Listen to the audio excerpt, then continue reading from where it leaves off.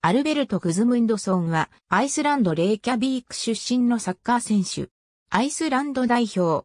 エール・ディビジ、AG アルクマール所属。ポジションは FW。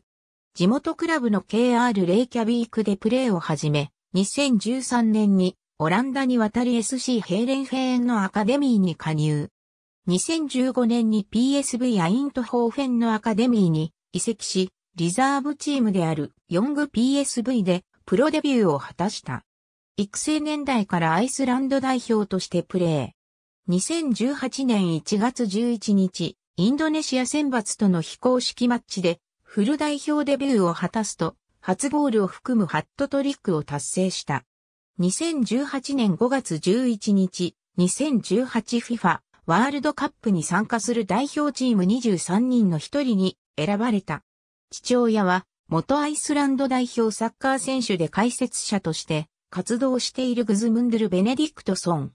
母方の祖父はウルバルステールトで2度得点王を獲得し、代表でもプレーしたインギ・ビョルン・アルベルトソン。インギの父はアイスランド初のプロサッカー選手で AC ミラン、アーセナル FC でプレーしたアルベルト・クズムンドソン。ありがとうございます。